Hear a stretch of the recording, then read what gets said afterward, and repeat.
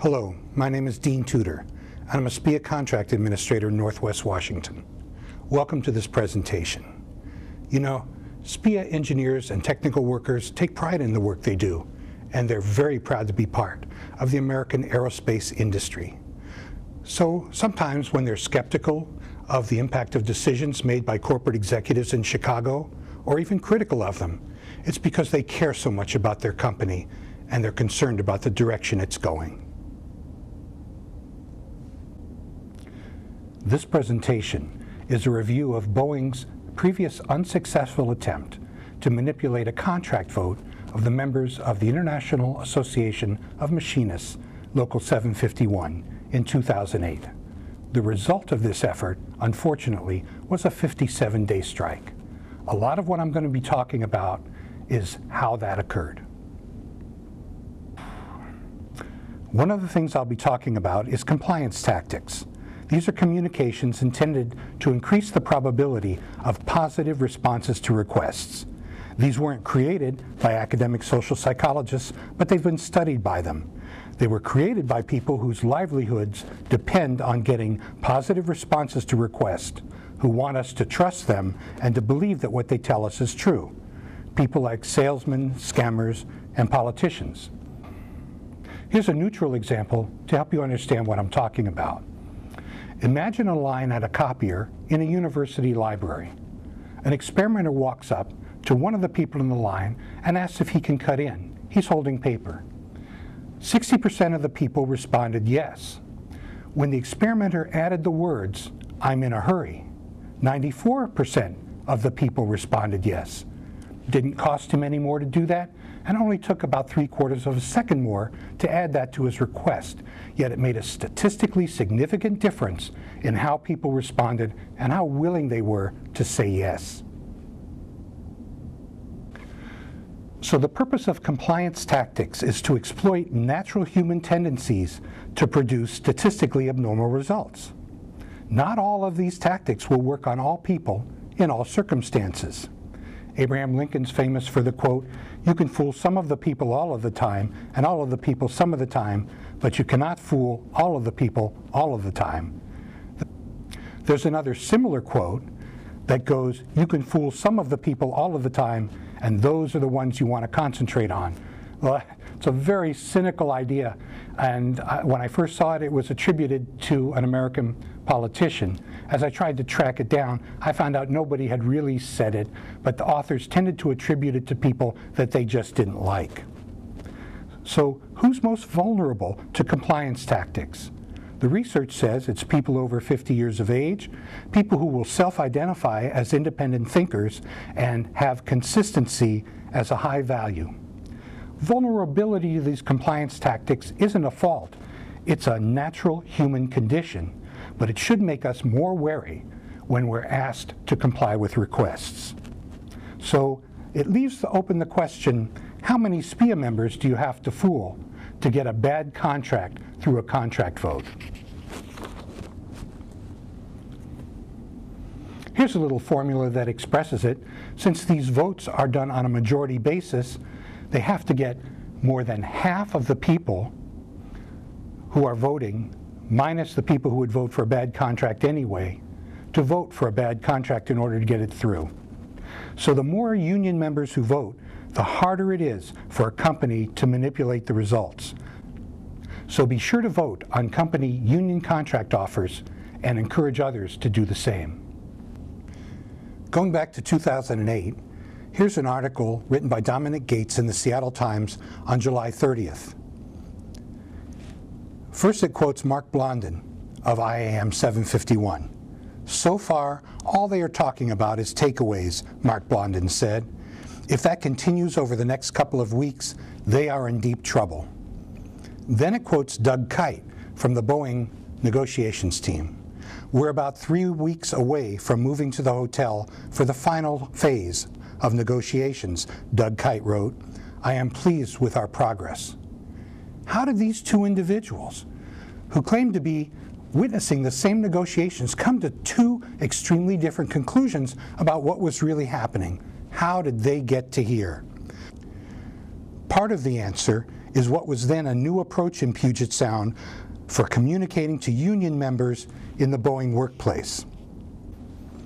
In a video that Doug Kight did on 8-13-2008, he said, you have the right to talk about the issues and the company's perspective on them.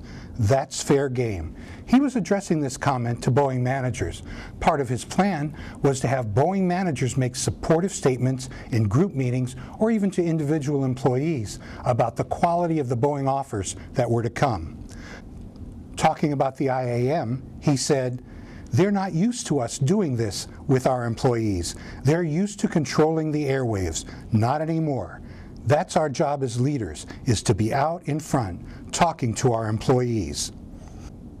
In a separate video called Connecting with Your Team, Our Negotiations Approach, he said, Employees want to hear from their managers. They are closest to the work and have credibility.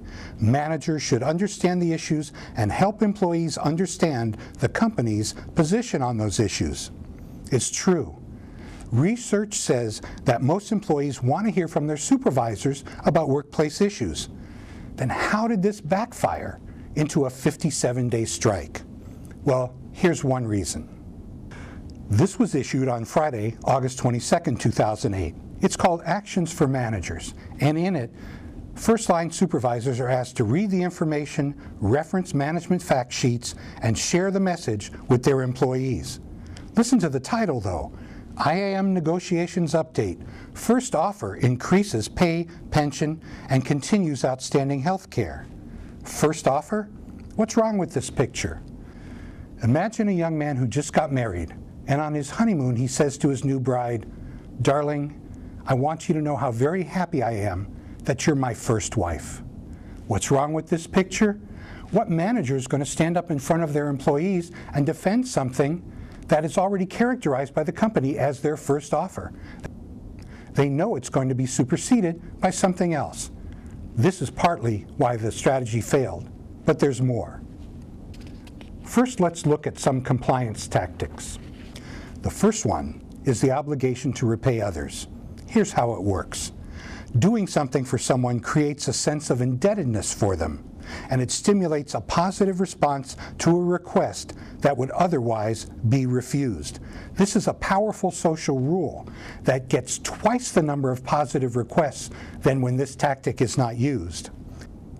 Here's an example. In 1971, in a university art museum, an unsuspecting subject is looking at paintings in a room with someone whom he doesn't know is an experimenter.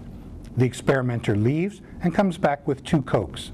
Tells the subject, hey, I went out and got myself a drink, thought I'd get one for you too. Gives him the Coke. The other person is happy to get it. They start to chat. In a few minutes, the experimenter asks him if he'll buy a raffle ticket. Twice as many people bought the raffle tickets, even though they cost 10 times as much as the Coke than when the Coke wasn't offered. That's not all of the bad news, however. These results hold even if the person who does the favor for us is someone we don't like. They hold for uninvited first favors, and they hold when the request clearly exceeds the favor that was done. Did Boeing try to create a sense of indebtedness for the machinists in 2008? The next piece was published on Saturday, August 23, 2008, and it's entitled IAM Negotiations Update Our Continuing Dialogue as Part of the Process. Here's what it says We delivered Friday's initial offer earlier than ever before in our negotiations history with the IAM. And that's a positive step. By starting earlier, we spent more time working through much of the contract, allowing us to present a full, detailed offer this early in the process. So the emphasis here is we did this for you, trying to incur a feeling of indebtedness on the part of the machinists who would be voting on the contract offer. But starting sooner and finishing sooner doesn't necessarily mean that more time was invested in the process. It just slid to the left. And union members don't want a bad offer that's issued early. They're willing to wait for a good offer that's negotiated fairly not just management putting lipstick on a pig and calling it beautiful. Let's look at another compliance tactic. I call this the hate and switch, and here's how it works. A request is made that involves an expense for the other person. The request has to be credible, but clearly expensive. When this request is rejected, then a second request, less expensive, is made. When that second request is viewed as a concession, a debt is incurred. And that's not the end of the bad news. When this tactic is used successfully, it triples the rate of compliance with the request. Requests backfire into resentment less frequently when the tactic is used than when not. People actually agree not only more often, they comply more reliably with the requests and freely volunteer to perform future requests. When people feel that they wrangled the second request from a reluctant party, they're more satisfied with it because they believe they wrung concessions from the other side. This is a typical tactic used by management throughout the United States in union negotiations. Did Boeing try this on the machinists? Watch the timeline that we're about to see. Follow the dates because what happened here was nothing short of a miracle. As you recall, on August 23rd, the company said, we delivered Friday's initial offer earlier than ever before in our history with the IAM. On Tuesday, August 26th, they said, since presenting our first offer, we've spent a great deal of time meeting with the IAM to focus on their contract priorities. We have made substantial movement in pay, pension, and health care. We've withdrawn key proposals that were important to the company but of concern to the union even if they met continuously from Friday through Tuesday, it's difficult to believe that something occurred in that short time that wrung major concessions from the company. Yet that's exactly what's being asserted here. Management's goal was to persuade union members that the company made major concessions so they would regard the second offer in a better light by comparing it only to the first. That's what this tactic is about. Instead, it looks like the second offer was prepared in advance, and the company just allowed a few days to pass before dropping it on the union. The next company announcement adds credence to this view. On Thursday, August 28th, just two days later, the company published this statement. After more than four months of listening to the union and our employees and responding to their top priorities, today we presented our best and final offer. It is an outstanding offer. I'm proud to stand behind it. Just two days later came management's best and final offer. There wasn't much negotiating happening there. In addition to the abbreviated timeline, please note the distinction made in this statement between our employees and the union as if those were two separate entities. It completely neglects the fact that the union members are all employees of the Boeing Company. This is a divisive tactic, and you'll see this again and again. The idea here is to get people to distinguish in their minds between being an employee and being in a union. In fact, one complements the other.